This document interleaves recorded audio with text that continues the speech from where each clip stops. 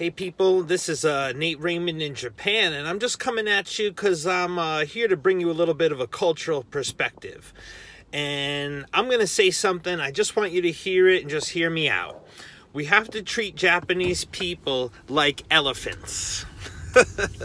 I'll say it again. We have to treat people, Japanese people, like elephants. Okay, so let me tell you what I mean by that. So, all right, let's start off in America, okay? Let's say in America, you saw something at 8 o'clock, you saw in living color, and you go to your friend, yo, did you see in living color? Yo, I saw in living color. Like, in America, that's a conversation I've had with people, okay? So I want you to understand, like, in America, that's what we're focused on. We're focused on something fun, something like that. Like, that's just our mindset. And we're talking about something we enjoy. Like, we have freedom so we enjoy it, okay? Now, I want to tell you about Japanese people, and I want to tell you that that's not their mindset, all right? They're not thinking about what they can enjoy. And that's why I say let's treat people like elephants to understand that there's already things that Japanese people already know. And we're not talking about what they do in their free time. Like, oh, did you see in living color? Did you see in living color? No, you see, they have so much already imposed in their mind. And let me tell you what it is, okay? So, the one thing they have imposed on their mind is their writing system and Chinese characters, you know, that in Japanese you have three different alphabets. So learning these Chinese characters at a young age, the, they have absorbed a lot of knowledge of these pictures that have meanings and different ways of reading depending on the context. Okay, that's one thing. And the next thing is that they have a lot of history of Japanese, you know, Japan just being considered an old country, an older civilization. That's just like a weight of that.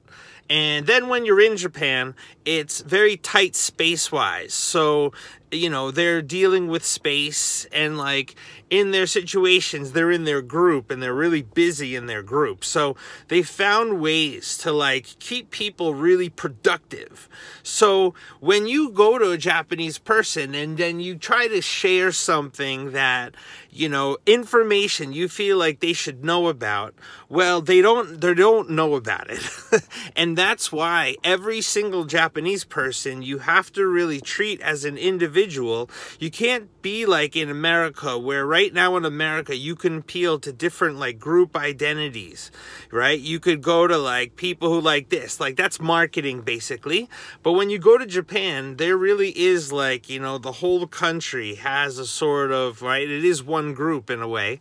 So, I mean, of course you have groups within that, but it's not is like so okay, it's just what I'm saying is that there's a dynamic, all right? There's a dynamic a cultural dynamic that if you step outside your culture, okay and you embrace like another person's culture and like situation you guys actually fit like puzzle pieces and that's the part that i want people to see i want the people to see the world as one big puzzle and all right so the deal is that japanese people are elephants but we are mice let me say it again we are mice do you know how free we are in America? Also, not just things we could do.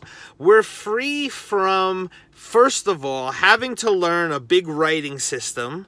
We're free from having to deal with like cultural, like in a way, like imposed on everybody. And like we have a sense of, you know, everybody can choose their own, right? And like that's something Japanese people don't have, you know? So it's like we have strengths and weaknesses. And you're never going to be a Japanese person. There's no way, you know? And you don't want to be, right? But who you are, you dismiss certain things because you think, oh, I am just like, you know, everybody is. No, everybody is not just like that.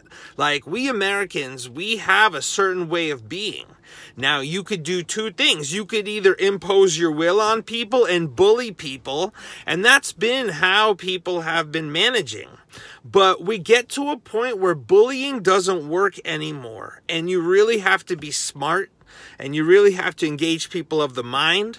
So, in that way, we're creating our own culture. I mean, Japanese have a culture. They'll say this is Japanese culture. But within Japanese history, certain Japanese periods of history, certain things were emphasized.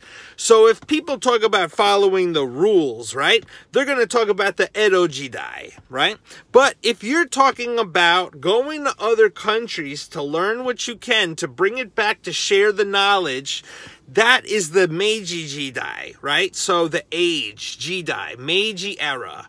So look, we got to get specific about language we use, self-understanding about our place in the world, and how that's really the start of a new culture we're creating where it doesn't matter where you were born, it doesn't matter these things where you were born that you say, look, you know, this is my culture, I was born into it. But then in that sense, you adopt maybe good things about your culture, but then you don't see how that's also closing you off from other ways, okay? But so what we want to do is we want to have like a, a salad bar, a smorgasbord, and we're taking the best aspects of culture. Oh, a lot of companies, yes, Japanese, I'll take some of that. Great social skills and networking, manhandle skills from America, I'll take that. You know, Australia skills, being the bridge between Japan and America, I'll take some of that. You know, India connecting to the Australia to have this digital thing, yeah, I'll take some of that. See, all these different pieces, and that's how we are. We take all of our strengths and bring it into the best. And I want you to know that this is a culture that I'm totally down with, and hopefully you're down with it too. And that's just what I'm trying to say is that, you know, like we are evolving and changing. And so we invite you to be part of this evolve and change. Nate Raymond in Japan of the Japan Exchange. We're going to keep in touch through app, having some meetings about how the best way to go about that. And we welcome your ideas. Thank you.